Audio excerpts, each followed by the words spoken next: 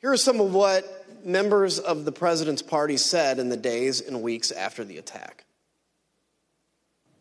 There's no question, none, that President Trump is practically and morally responsible for provoking the events of the day. No question about it. The people who stormed this building believed they were acting on the wishes and instructions of their president.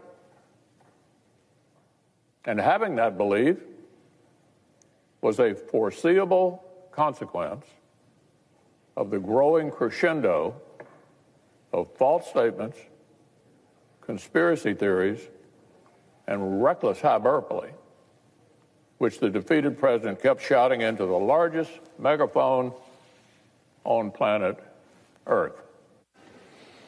The violence, destruction, and chaos we saw earlier was unacceptable, undemocratic, and un American. It was the saddest day I've ever had as serving as a member of this institution. Madam Speaker, today the People's House was attacked, which is an attack on the Republic itself. There is no excuse for it. A woman died, and people need to go to jail. And the president should never have spun up certain Americans to believe something that simply cannot be. Shepard Smith here. Thanks for watching CNBC on YouTube.